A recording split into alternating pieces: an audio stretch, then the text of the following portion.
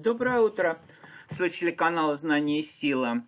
Я решил сегодня записать видео про математику, про математику. Оно будет такое довольно-таки, как всегда, ну не просто математические теоремы, а под некоторым соусом, да?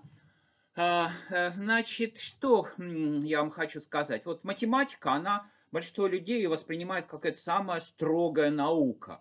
Вот эм, физики там все как-то так интуитивно, на пальцах часто – но в биологии вообще там вот я с биологами беседовал, они утверждают, что результат эксперимента зависит даже от настроения экспериментатора. То есть там вот с колбами что-то поделали, так сказать, один день бактерии себя повели так, а другой день по-другому. Вот, то есть там есть проблема невоспроизводимости данных. Они ее, в общем, прячут всячески, так сказать, когда в пробирках не то выкидывают, но вот если поговорить с настоящим биологом, он скажет, что там очень такие на плавунах все дело, так сказать, создано. Но работает. Можно как бы продвигаться и на таких очень зыбучих песках, построив дом, можно в нем тоже жить. Можно в нем тоже жить.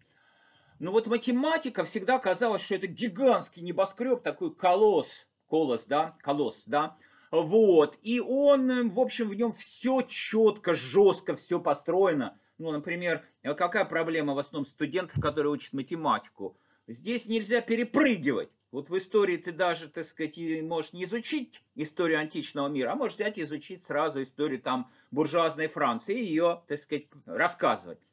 А в математике, если ты там логарифмировать не умеешь, то, в общем, тебе довольно трудно дальше продвигаться. И вот я даже выбрал математику. Вот в школе я занимал первые места в городе Тольятти и по физике, и по математике. И даже ездил на областную, на областную олимпиаду, на областную олимпиаду. Вот. И я мог участвовать и в олимпиаде по математике, и по физике. И я выбрал, какую я выбрал олимпиаду? Я выбрал по физике, но там мне формулировки задач так не понравились, а по математике потом так понравились, что я поступил в МГУ на механико-математический факультет, на отделение математики. Но не пошел на физику. Хотя потом физика все равно меня страшно привлекла. Ну так вот, всю жизнь я наслаждался строгостью математики и ее вот как бы прелестью. И уже вот, вот почему-то нам во время наших курсов на мехмате не рассказали, что имеется ну не назвать изъяном, но деликатная такая ситуация в математике. Возможно, нам ее упоминали, упоминали, но как-то, значит, я проскочил мимо этого. И это у меня только, я впервые осознал уже лет, там, скажем, 40, читая курсы, и заметив, что во многих курсах, вот сейчас я как раз закончил курс топологии, это такая а, самая абстрактная геометрия, где даже нарисовать ничего нельзя. Где даже нарисовать ничего нельзя особо, вот. И где вот формул никаких не пишут, только вот логика и мысли работают. Логика и мысли работают. И вот в этой же топологии тоже используется одна аксиома, которая довольно-таки такая странная.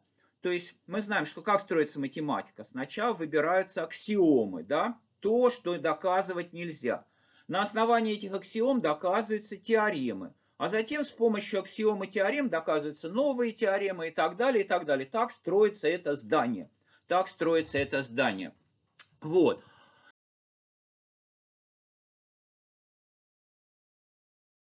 Когда вот в наших курсах, даже в Московском государственном университете, не обсуждались.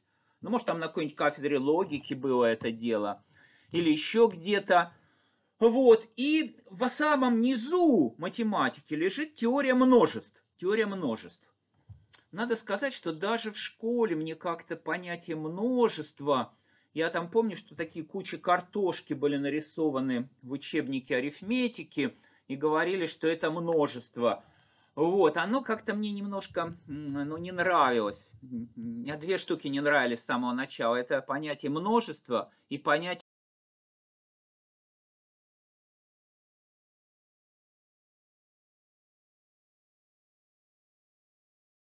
теория множеств, она зааксиматизирована, и имеются вот такие первоначальные э, положения, которые, собственно говоря, идут из нашей человеческой интуиции, да? И на основании этих положений сформализованы они как аксиомы, как аксиомы. Ну вот более близка, так сказать, эм, более близка, так сказать, эм, людям может быть геометрия, и вот там разные геометрии, они характеризуются разными системами аксиом, да, ну вот, например, Евклидова геометрия, там параллельные прямые, они не пересекаются, да, и, в общем, вот в таком духе, да.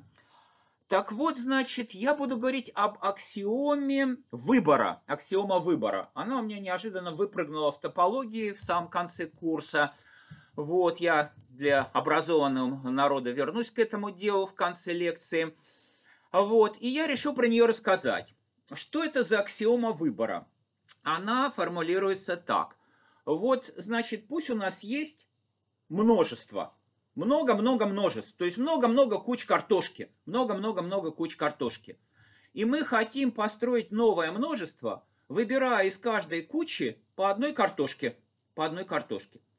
А здесь как бы мы Тут вот еще есть такое, вот так, такая, и значит, эм, теперь, если этих множеств конечное число, ну, лежит 5 куч картошки, 5 куч картошки, да, мы можем, так сказать, выбрать из каждой кучи по одной картошке, так сказать, и сделать новую кучу картошки, и сделать новую кучу картошки.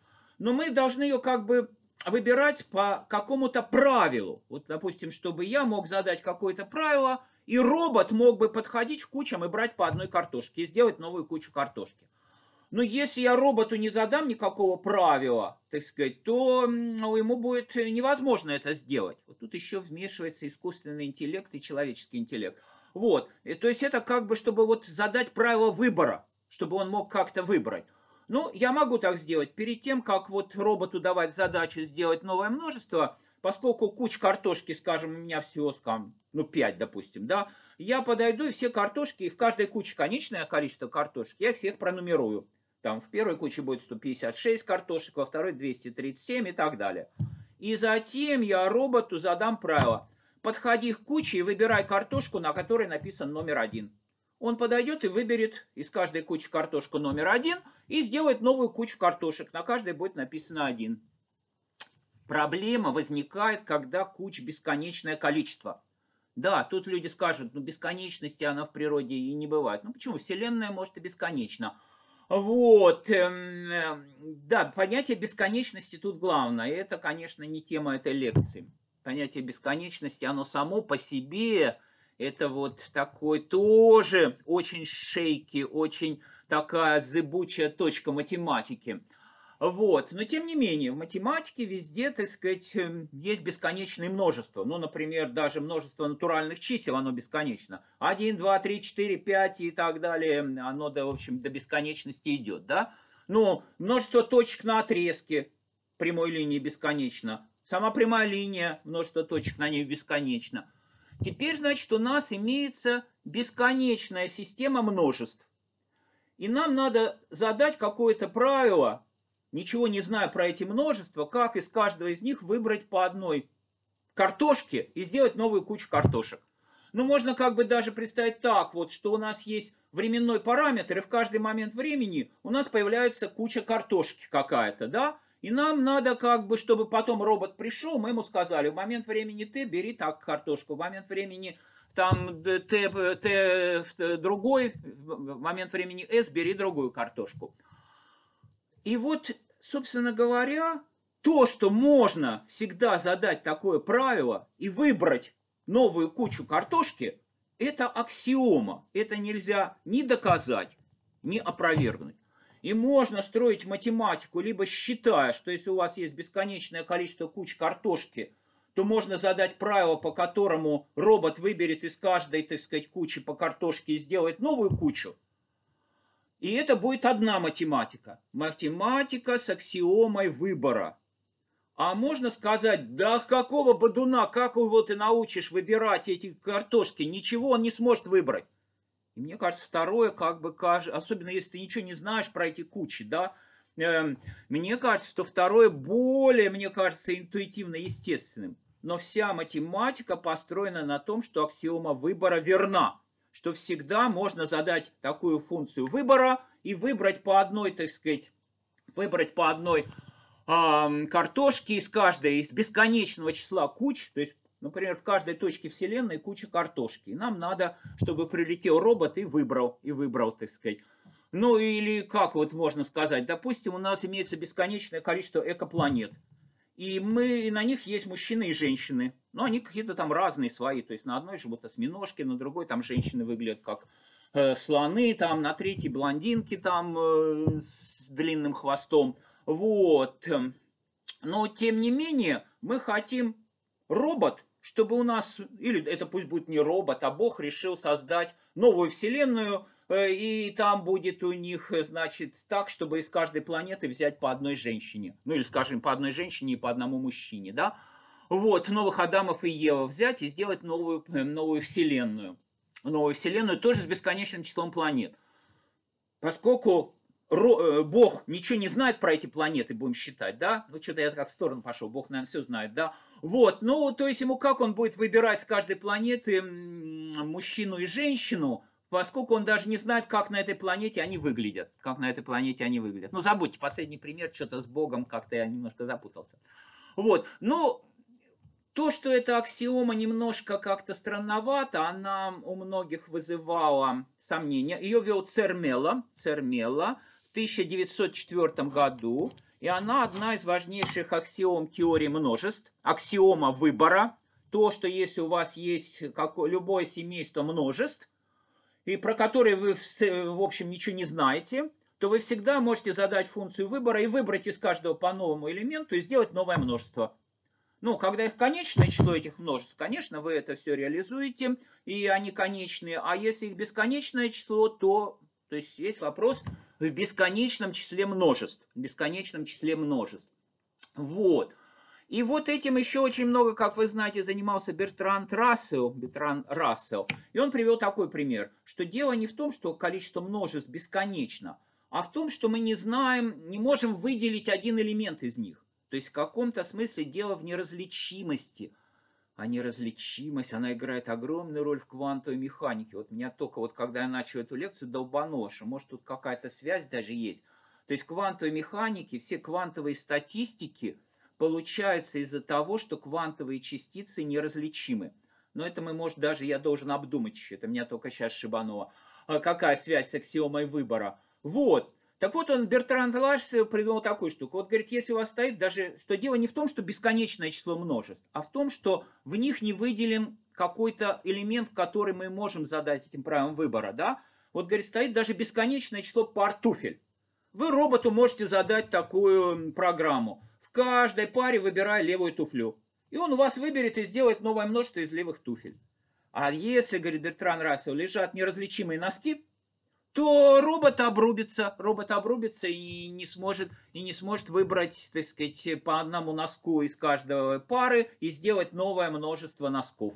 Вот так вот он это, эм, вот так вот он этот эм, Бертран Рассел это проиллюстрировал аксиому выбора.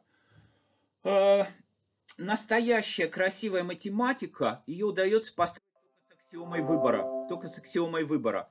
А без аксиомы выбора тоже пытались строить математику. Это была вот так называемая конструктивная математика. И особенно она была популярна в 60-е годы, когда компьютеры стали развиваться. И вообще была идея, что все искусственный интеллект, так сказать, покорит. Да?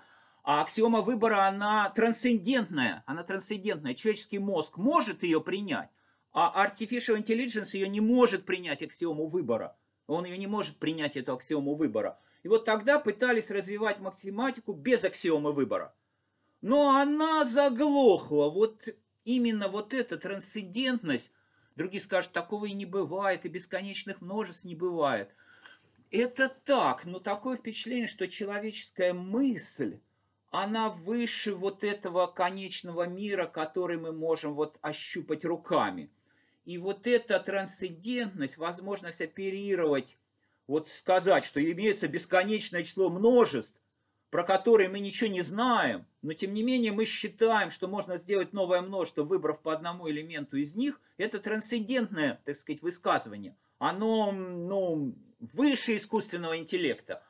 И вот э, на основании его строится удивительно красивое здание математики, в котором все мы и работаем. Но, к сожалению, никто студентам, возможно, кроме меня, вот в таком провинциальном университете, никто им не говорит обычно про аксиому выбора. А стоило бы сказать, потому что вот здание наше, математики, оно такое стоит на плывуне. Вот как бы можно, так сказать, так, а можно это. И будет совершенно две разных математики. То есть вот это я пытался до вас донести. И второе, вот сила человека над искусственным интеллектом.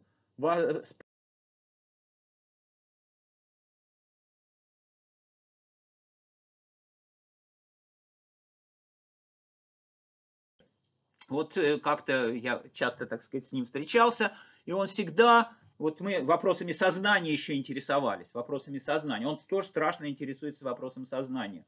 И вот он, он очень страшный враг искусственного интеллекта. Очень страшный враг. То есть он считает, что это по существу как бы, ну, человек переходит на первообыт